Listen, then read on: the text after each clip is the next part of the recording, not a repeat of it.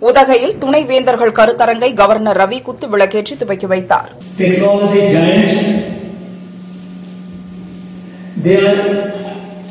shifting their manufacturing from China.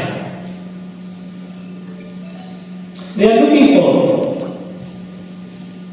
areas, and countries where they can relocate and do business, that is manufacturing.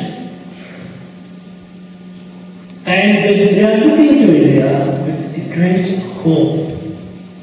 Because in the last about a decade, the transformation that has happened in the country, it gives them the confidence that India is a prospective destination for relocating their manufacturing from China to India.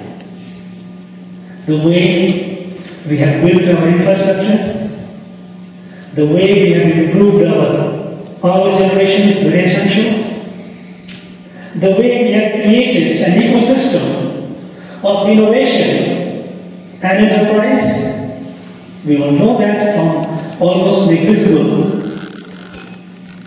Just a few hundred, less than 500, today we have over 100,000 startups. All these, so much so that today we are in the top three is startup ecosystem in the world.